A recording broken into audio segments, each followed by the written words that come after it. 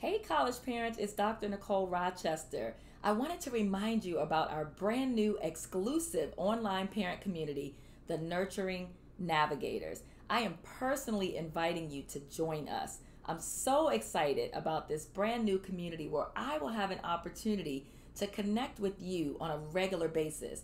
And you won't just be connecting with me, you will be connecting with other college parents across the country. If you haven't already, go check out the link that you see there on your screen. I have extended the introductory rate through Friday, August 7th, so do not delay. Tell your friends, and I look forward to seeing you in our community.